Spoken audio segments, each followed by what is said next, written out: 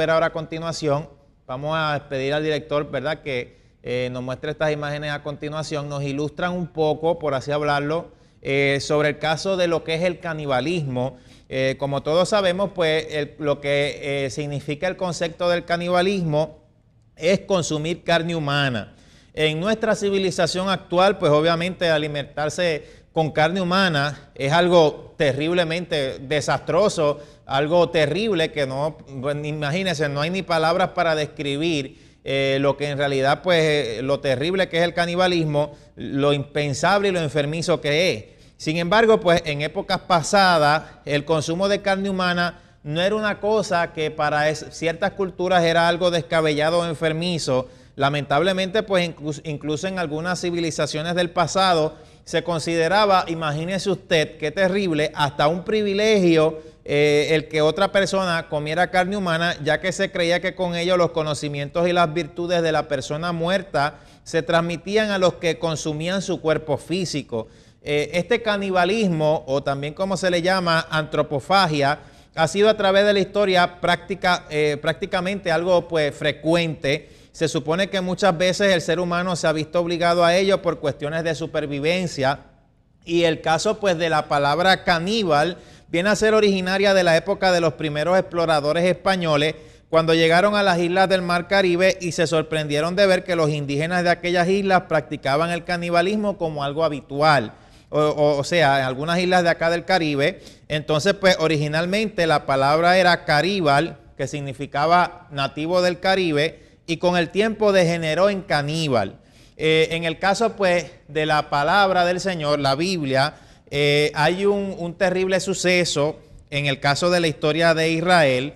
Eh, por lo menos hay una maldición que da el Señor que dice en Levítico 26, 29, comeréis las carnes de vuestros hijos y la carne de vuestras hijas comeréis. Por lo menos ya en Génesis se nos habla un poco sobre en el capítulo 9, versículos 3 al 6 Génesis capítulo 9, versículos 3 al 6, donde se nos dice, todo lo que se mueve y tiene vida os servirá de alimento, todos lo doy y lo mismo que os di, la hierba verde. Entonces en el versículo 4 dice, solo dejaréis de comer la carne con su alma, es decir, con su sangre, y eh, os prometo reclamar vuestra propia sangre. Dice, la reclamaré a todo animal y al hombre, a todos a cada uno la reclamaré, el alma humana quien vertiere la sangre de hombre por otro hombre será su sangre vertida porque imagen de Dios o imagen Dios hizo al hombre.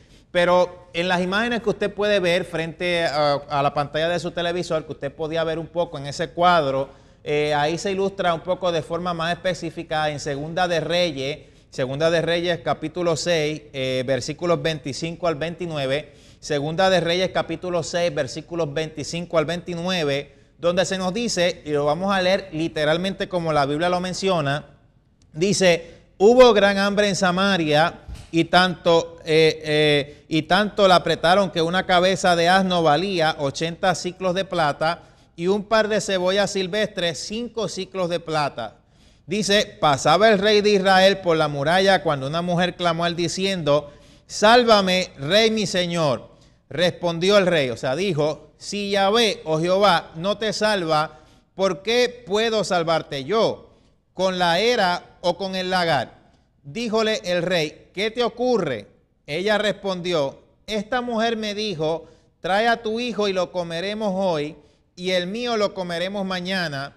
Dice, cocimos a mi hijo y nos lo comimos. Al otro día le dije, trae a tu hijo y lo comeremos, pero ella lo ha escondido. O sea, fue un terrible eh, un terrible panorama en la historia de Israel. Había tanta hambre que la gente inclusive llegó hasta el canibalismo. Otro fue el caso en Josefo, en la historia de los judíos, fuera de lo que la Biblia nos dice, pero que en el caso de Josefo con la historia de los judíos podemos ver el cumplimiento profético de Daniel y de Jesucristo cuando dijeron que el segundo templo iba a ser destruido por completo.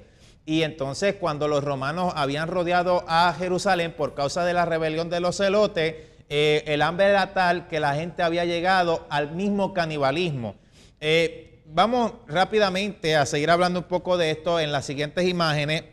Eh, pues podemos hablar un poco sobre lo que se nos menciona en el caso del Apocalipsis, donde hay varios pasajes que hablan claramente de la muerte y la resurrección del anticristo. ya que pues se dice que el anticristo morirá violentamente, ya que pues probablemente será asesinado y será levantado milagrosamente de entre los muertos o simulará una resurrección durante el periodo futuro de la gran tribulación. O sea, solamente pensemos el abrumador impacto que esto tendrá al mundo. El gran gobernante de la culminación de la historia es sanado en forma que se eh, parece mucho a la muerte y resurrección de Jesucristo y por eso pues él pues viene a mostrarse al mundo como un falso Mesías. Apocalipsis capítulo 13 versículos 3 al 4 registra el asombro del mundo por la resurrección de la bestia, como se nos dice en la palabra. Dice, vi una de sus cabezas como herida de muerte, pero su herida mortal fue sanada. Y se maravilló toda la tierra en pos de la bestia y adoraron al dragón que había dado autoridad a la bestia y adoraron a la bestia diciendo, ¿quién como la bestia y quién podrá luchar contra ella? O sea que en este caso, en la resurrección del anticristo, se especula que como solo Dios es el que da vida al espíritu, o sea, es el que en el caso pues eh, se ha probado que en lo material se ha venido a clonar eh, animales, pues en el caso de la clonación de una persona, quizás pueden clonar a una persona, pero el espíritu y el alma es inclonable porque es inmaterial. O sea, podría ser posible, según se ha venido especulando y según muchos pensamos, será posible un cadáver clonado del anticristo, un cadáver que sea clonado y que sea lleno de demonios o poseído por el mismo Satanás, en algún ritual que haga o que se haga pues que el anticristo vuelva a la vida. Posiblemente el ritual se ha hecho por el falso profeta. Algo así como se hace en el caso de los zombies en Haití, por ejemplo, con el caso de la magia negra. También en la Biblia registra un versículo bien interesante que se nos dice en Apocalipsis capítulo 9, versículo 6, y en aquellos días los hombres buscarán la muerte, pero no la hallarán, y ansiarán morir, pero la muerte huirá de ellos. Todo debido a la ilustración que usted puede ver frente a la pantalla de su televisor, que nos habla cómo una estrella cae del cielo a la tierra, y abre las puertas del abismo, que es una prisión actual de demonios que están presos allí, y los demonios salen a la tierra en forma de langosta y pues comienzan a atormentar a las personas por un determinado periodo de tiempo. Muchos desearán morir y no podrán. Solamente yo le invito a usted a que imagine cómo será esa escena de que muchos desearán morir. Si yo, si por lo menos hay una persona que desea morir, ¿qué es lo primero que hace? Recurre al suicidio. Muchas personas hoy en día recurren al suicidio porque piensan que al matarse en este nivel de conciencia o en el campo material dejan de existir, pero parece que se le, no se les ha instruido que si se matan el cuerpo, todavía pues queda el alma, el espíritu vuelve a Dios, pero queda el alma y el alma pues en este caso iría a condenación. O sea que la muerte es solamente el principio de nuestra vida porque nosotros somos eternos.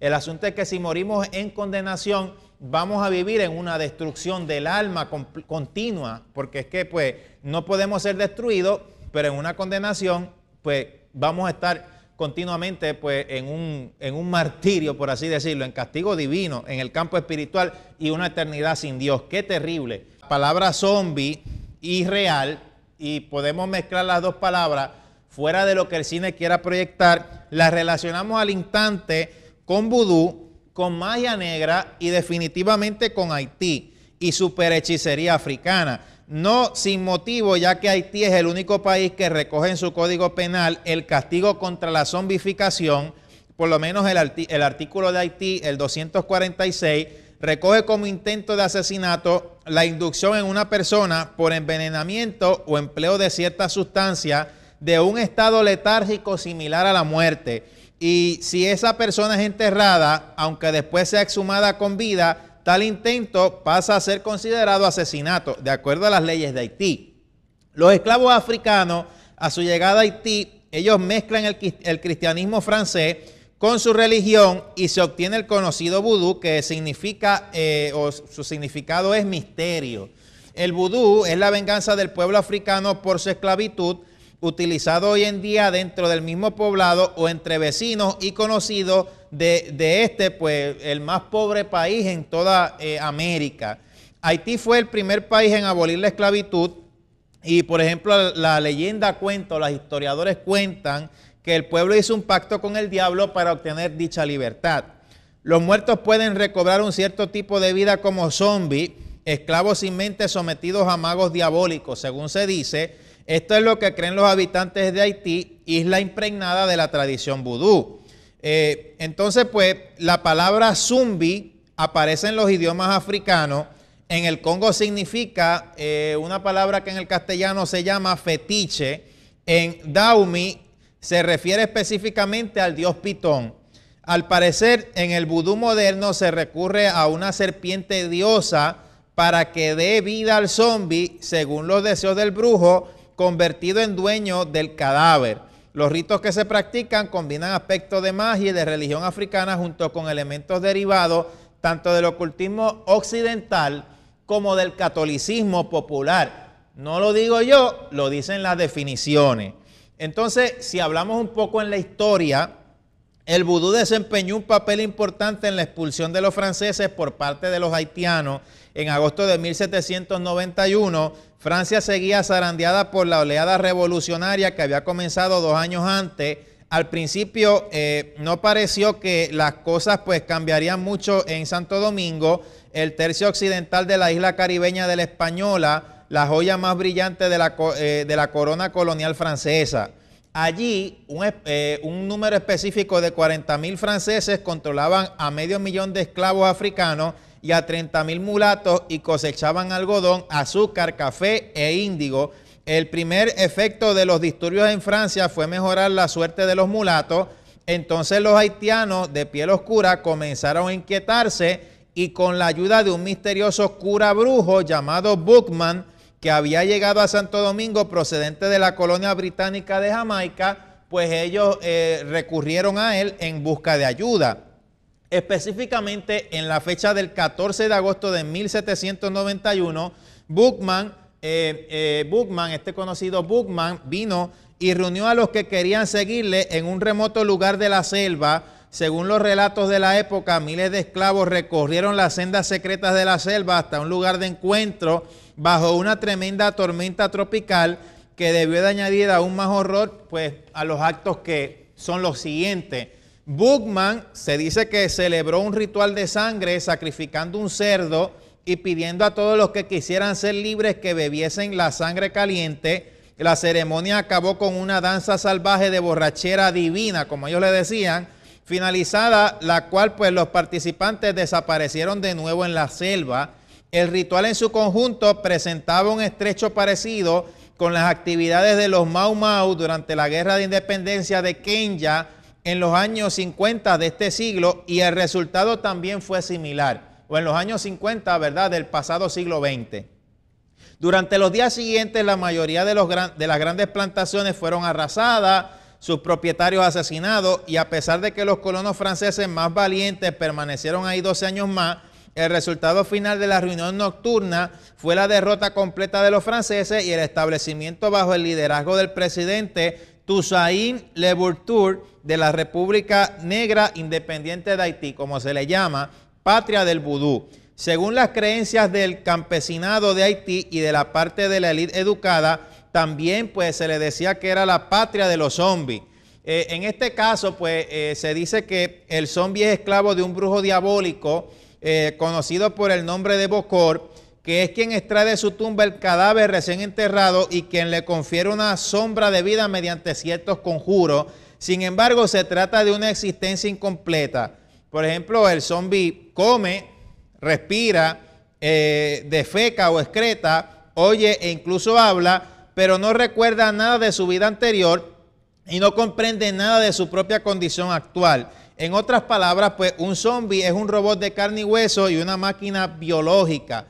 Eh, el campesino de Haití siempre alerta frente a cualquier aspecto diabólico o peligroso del vudú, eh, pues es capaz de descubrir a un zombie por varios signos. Los campesinos en Haití, el zombie suele caminar dando, eh, como pues, lo que dicen ellos allá, como que dando bandazos, lo que diríamos aquí, dando cantazos realiza las acciones físicas de manera mecánica, tiene una mirada helada y desenfocada y habla con voz nasal. Esta última característica, pues en particular, se asocia con la muerte en el folclore de Haití, probablemente debido a la costumbre de taponar las fosas nasales de los cadáveres con algodón. Eh, los Gede, eh, en este caso, pues eh, para conocidos por ellos, siniestros y lascivos dioses de la muerte del panteón vudú, se caracterizan por hablar de este modo cuando un devoto del culto vudú está poseído y siempre habla con entonación nasal. O sea que podemos nuevamente comprobar que es la posesión de demonios. Otra relación más entre los zombies y los dioses de la muerte nos da el hecho de que uno de los más famosos dioses, el Capitán Gede, a veces también es conocido bajo el nombre de Capitán Zombie. En este caso, pues, si hablamos un poco de Haití, eh, aquí pues nosotros, según una información que hemos extraído, casi todos los haitianos pues tienen la posibilidad, y esto pues es información de misioneros que han ido allá, eh, tienen, eh, temen la posibilidad de que sus parientes fallecidos puedan ser transformados en cadáveres ambulantes. En el Haití actual pueden apreciarse con facilidad, por ejemplo, varias de las medidas preventivas adoptadas o que se usan para evitarlo. Así, por ejemplo, en el caso de los campesinos más humildes, se endeudan, se dice, para recibir pesadas losas para las tumbas de sus parientes más cercanos.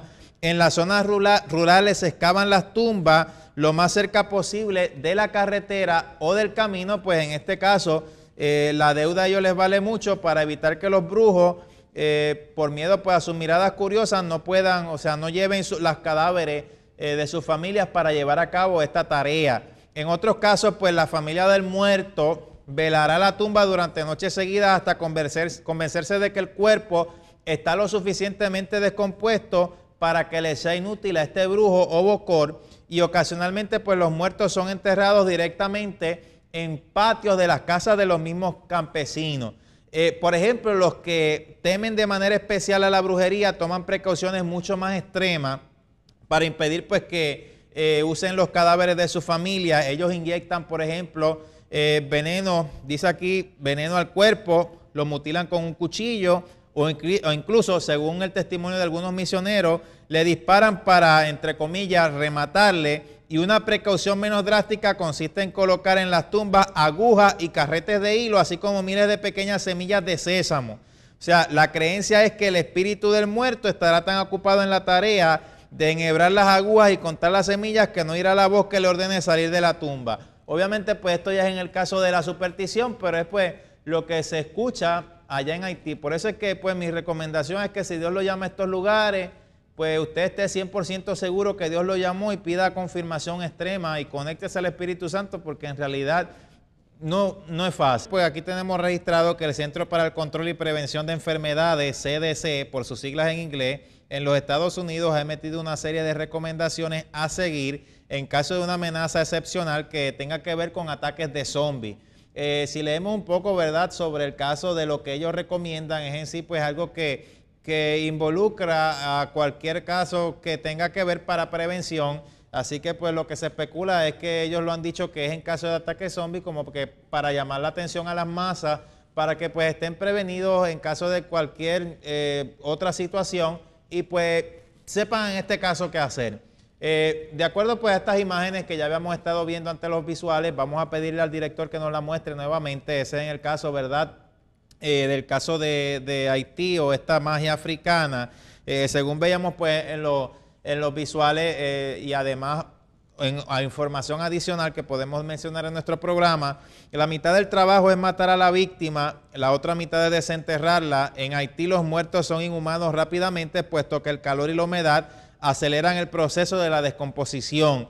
El brujo puede desenterrar rápidamente a un esclavo, se le dice esclavo, ¿verdad? Porque en este caso pues va a ser del cadáver un esclavo, puede desenterrarlo antes de que muera por asfixia. Una vez desenterrado, el brujo le da a comer eh, lo que se llama datura, eh, conocida también como toloache, un potente psicoactivo en la dosis correcta y un veneno letal en la incorrecta. Eh, la datura rompe cualquier lazo que pudiera conservar con la realidad después de haber sufrido el trauma de ser enterrado vivo enloqueciéndolo y borrando todo su recuerdo. El zombie no sabe qué día es, dónde está ni cómo se llama, entonces permanece en un delirio psicótico semiconsciente.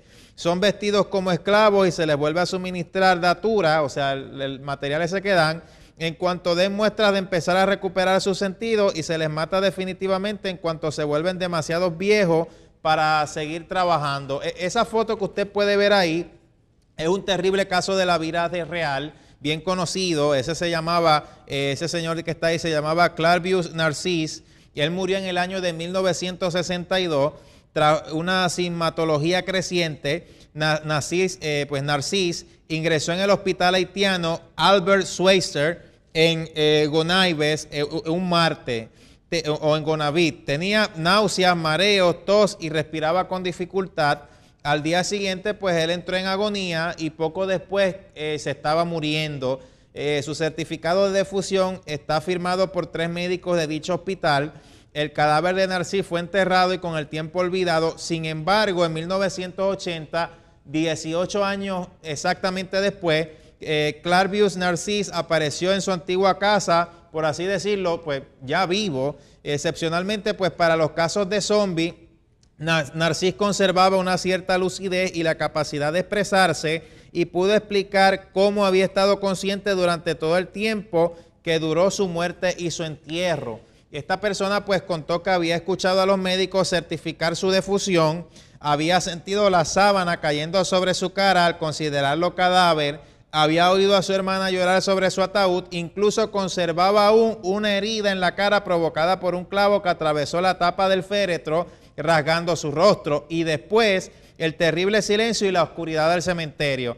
Después escuchó la voz del Bocor, o sea, el que habíamos dicho que es el brujo vudú, pronunciando su nombre fue desenterrado y salvajemente golpeado y después conducido a una plantación en Rabin Trompet en el otro extremo del país.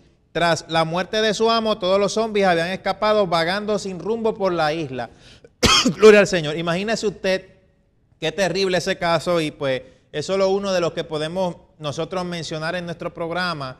Eh, pero hay otros terribles casos que tienen que ver pues con este tema de los zombies, que tienen que ver con el canibalismo y solo nosotros, pues, ante lo que usted va a ver ahora, podemos decir, decir que es una precuela a situaciones peores que van a ocurrir en la gran tribulación luego del arrebatamiento de la iglesia.